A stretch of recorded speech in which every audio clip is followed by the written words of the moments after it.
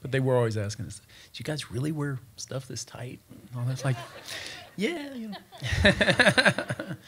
well, there's going to be a double vinyl album. Warner's Records is putting out soundtracks. Not that anybody buys soundtracks anymore, but double vinyl and uh, cassettes too. I don't know. So I, I think the double vinyl has more songs technically, and that's still not all the songs in the movie.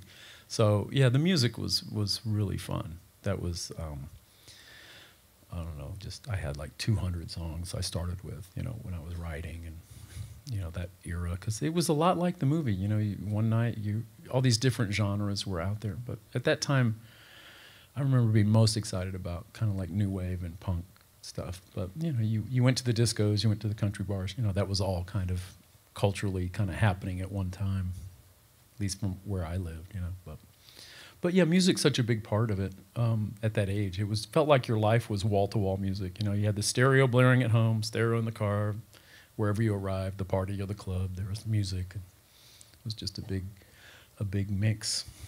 So it was just fun, kind of, uh, you know, going back hearing all that and explaining to the guys, you know, sort of like, well, you don't, because they, they were liking some of the disco. It's like, no, no, you can't technically admit to liking disco.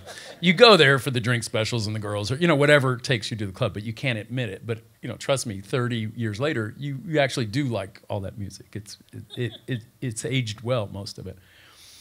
But at the time, you were more likely to have a disco sucks T-shirt, you know, rock and roll. You know, it was a it was a weird battle that was going on at that moment, you know.